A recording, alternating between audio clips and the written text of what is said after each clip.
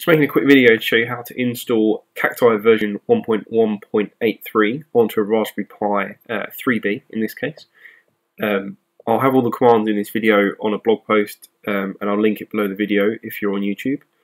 Um, so yeah, Cacti version 1.1.38 is not the normal version of Cacti that comes if you just do a sudo apt-get install Cacti. I think it's 0.8.8 at the moment. Um, so this is installing uh, a newer version from somewhere else or a different uh, repository or repo um, of where we're going. So uh, I'm running Raspbian uh, Stretch Lite on this um, Raspberry Pi uh, that I've got. I've already SSH'd into this uh, Raspberry Pi. Um, well, it's got a static IP. You can see that in a previous video.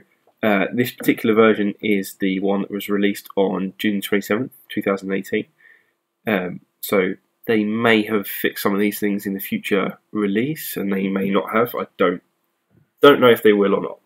Anyway, let, let's get going. So there's actually um, three distinct components that we actually need to uh, do to install Cacti. First thing is we need to install some uh, well a missing package uh, that handles keys. Uh, then we need to, or certificates and keys. And then we need to um, add some key servers and then we need to add the repository before installing it. So almost four steps, I guess. Depends how you count. So first of all, let's install this mixing component.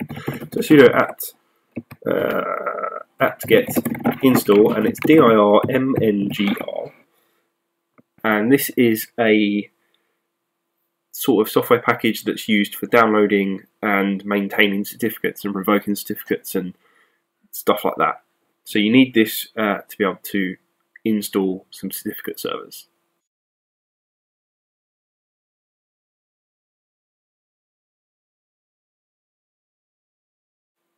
Great, so now that's installed, we can add uh, some key servers uh, and then some keys and certificates, etc., to our Raspberry Pi. So let's have a look at what we've got installed so far. So sudo apt key list.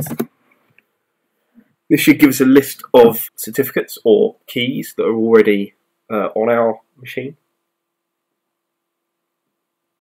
So now we need to add our, our key servers. Uh, so I'm going to add Ubuntu's key servers. Uh, it's a Debian distribution. Ubuntu is another Debian distribution or another distribution based on Debian. So it doesn't really matter. So let's just add these. Uh, I'm probably going to copy these wrong, but you can just copy and paste them.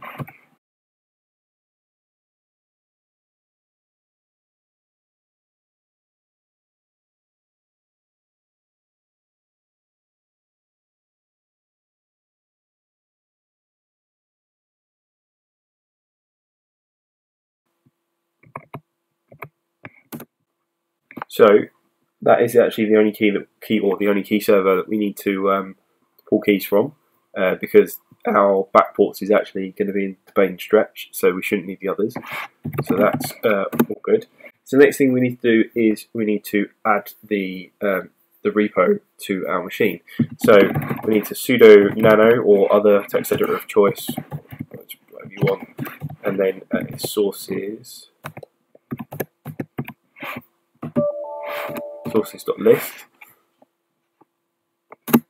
Uh, and then in this file, we need to add a line, which is deb uh, http forward slash ft ftp.debian.org forward slash debian. Uh, and we want to add the stretch backport. Uh, and I'm going to go for main. You could have contrib and non-free or or whatever you want. So that's good. Let's write that to the file, uh, which is Control uh, O and Control X to close.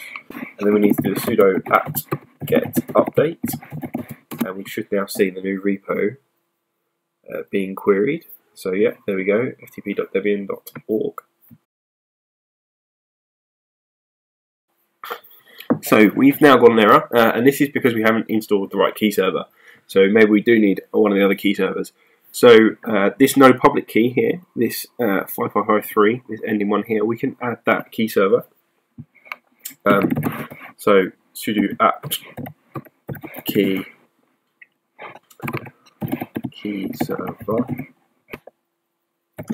uh, and we want to do keyserver.ubuntu.com recv dash keys, and then we want to put in this this uh, public key into here. So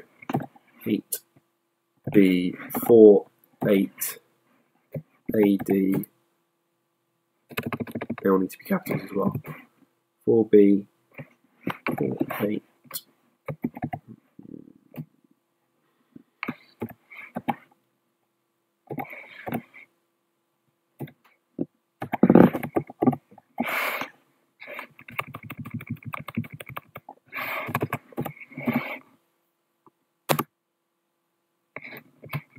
Uh, would help if I could spell or type.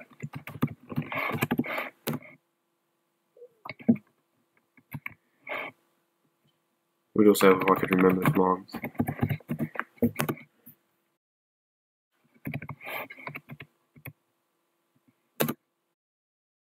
Great, so we should now have an updated list of packages that we can install, uh, and now we just need to install it. So sudo apt get install uh, but now we need to specify which which repo we want to go to. So stretch S T R E T C H uh, backports,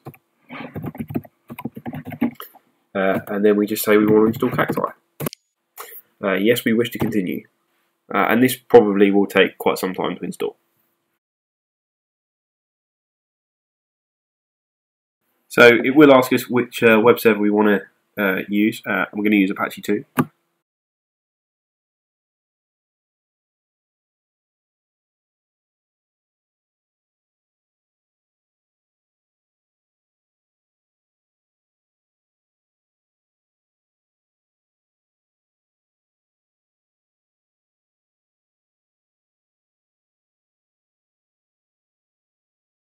So we're also going to need to tell it um, which database to use. Uh, we're just going to tell it to carry on with whatever it's doing and give it a password.